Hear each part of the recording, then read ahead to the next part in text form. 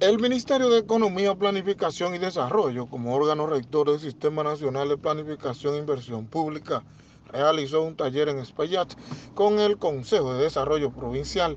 En esta demarcación destacan la importancia de la planificación para el logro de las metas. Y se han cumplido. Así es que encantada, bien, gracias por su participación, por estar aquí, por confiar y confiar en nuestro señor presidente de la República, Luis Abinader Corona. Realmente impacte positivamente en la provincia, en la provincia y los municipios. Por eso estamos contentos de que nos inviten al Ministerio de Planificación y Desarrollo, a las instituciones, para así poder decir estas son las horas que la demanda la comunidad los representantes que conforman el Consejo no ha dado bastantes resultados. Y por eso estamos aquí en el día de hoy. Desde los gobiernos locales valoran esta iniciativa. Un impacto eh, estratégico, un impacto político, social y desde el Estado.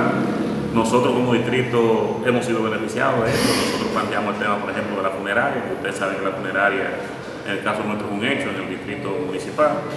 Las demandas territoriales siempre van a estar, pero tienen que haber un Y esto envía una señal institucional importante. La planificación te da mayor cobertura a la ejecución.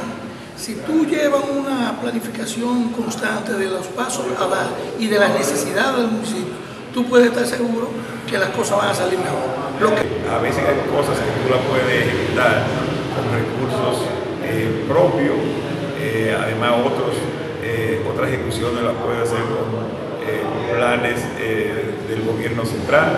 El gobierno que encabeza Luis Abinader hace énfasis en la planificación para lograr las metas de desarrollo. En Moca, República Dominicana, Miguel Ángel Arroyo Ramos, Grupo de Medios Telemicro.